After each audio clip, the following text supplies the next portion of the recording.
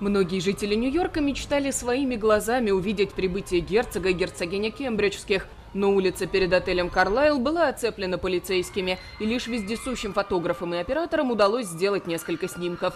В программе визита Уильяма и Кэтрин встреча с президентом Бараком Обамой, бывшим госсекретарем Хиллари Клинтон, а также с певицей Бейонсе. Они намерены посетить мемориал жертв 11 сентября, а также несколько официальных мероприятий. В связи с приездом наследника британского престола и его супруги, беременной вторым ребенком, в городе царит ажиотаж. Америка с пристальным вниманием изучает будущего короля Великобритании.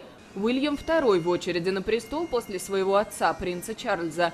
В редакции журнала о светской жизни «Hello» разговоры только о визите. Репортерам предстоит оценить наряды и прически герцогини, очаровавшей весь мир.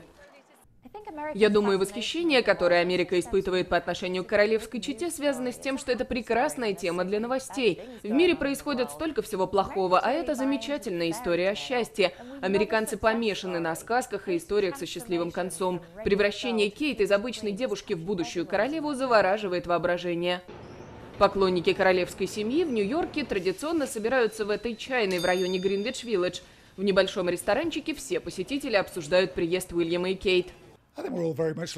Мы все ждем этого визита, особенно британцы, мы очень гордимся ими. Я считаю, они прекрасные представители королевской семьи и Великобритании.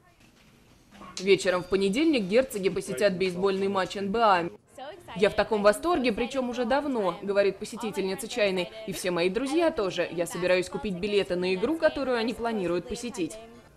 Принц Уильям и его супруга проведут в США три дня.